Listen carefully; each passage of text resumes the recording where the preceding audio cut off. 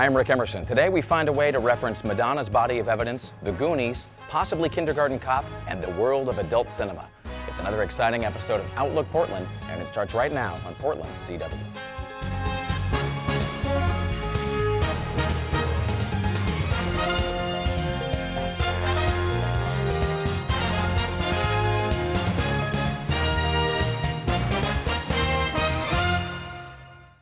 Hi, I'm Rick Emerson, and welcome to Outlook Portland on Portland CW.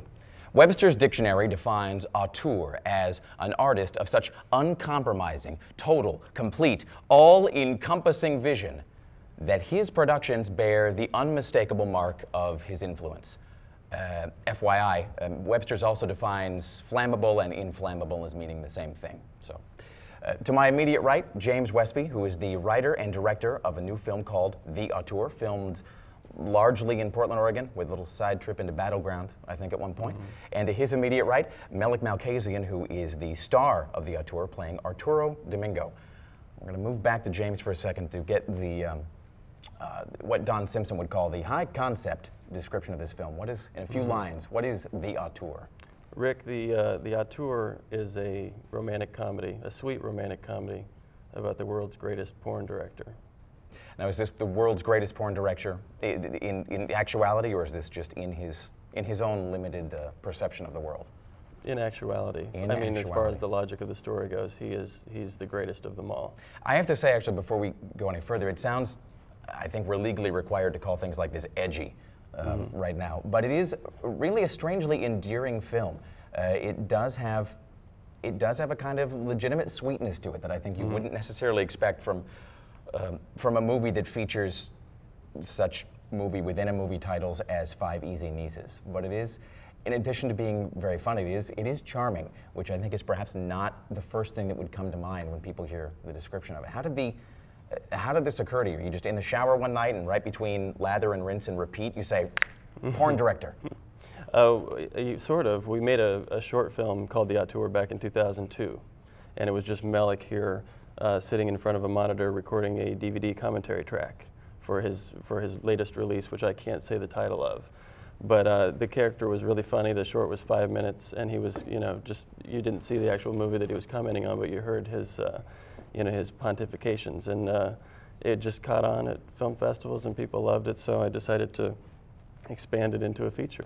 I will have to say that it, it, there is uh, just a litany of film titles in, you know, again, it is a film about a filmmaker. And was there just some big kind of, I guess what William Goldman would call a, a, a spitballing session where you're just sitting there with a dry erase board writing adult film titles? Just, you know, you and your friends drunk at three in the morning, just listing them out? Um, they were all uh, just in the script, but that is one of the most, that was one of the mo more fun, you know, parts of the writing process. I didn't know if you just had a, like a store of them in your head you were waiting to use your whole life. A couple of them, yes. And again, I can't, I can't say them right now. You know, but now people are obliged to watch the film so they can, that's what we call a guarantees. Right, but Five Easy Nieces is the one that we can say is my favorite of all of them. It is, it's quite something, and I, and you play Arturo Domingo, and you, this is not camera trickery either with the, the going up in size and down in size. You, your weight fluctuates uh, pretty wildly throughout the film depending on when it takes place, right? Right. I wish it was a fat suit, but I actually gained 45 pounds and then we took a break for a few months, and then I lost most of it. and we came back and shot some flashbacks. So, no camera trickery, it's metabolism. Now, is that a good assignment or a bad assignment when they say, and uh, look, there's one little wrinkle. Now, you're going to need to weigh 195 pounds, then 300, then 130, and you got six weeks, so go eat. I mean, how do you, how do you even do that? How do you First week was an orgy of food fantasies, eating everything I ever wanted to eat. And then by the second week, I wanted to, uh, pardon the term, pull out. Of the production? The commitment of the role. This is already the best show we've ever filmed, by the way, just for those playing the game. Um, uh, uh, so, just to jump back in time a little bit, you guys mm-hmm. have worked together, or at least known each other for, what do you said, 10, 15 years, something uh, like yeah, that? 15 years. And so we, we met uh, with Melik auditioning for my first feature film. And are you both from Portland? Where are you from originally? I was born in Aberdeen, Washington. I'm from all over Washington State. Aberdeen, where hope goes to die. That's right. It's like being born from Chehalis, but not quite as cool. It's the end of the world. it really is. Um, and uh, Melik, where are you from originally? Um, I came to Portland from the Midwest, and uh, I was in Portland, Oregon, early 90s. That's where I met James.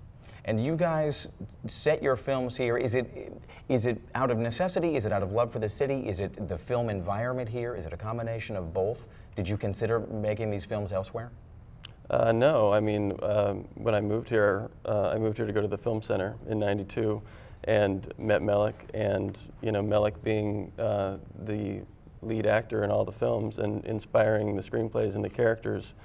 Um, you know, uh, they've always been set in Portland because that's where I live, and I do love the city.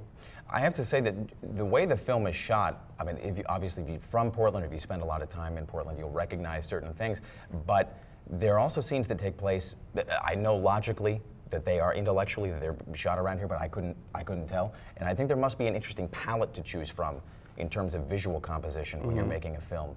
Uh, around Portland, is that where your kind of go-to locations in terms of a place that is always going to work uh, as a filming location?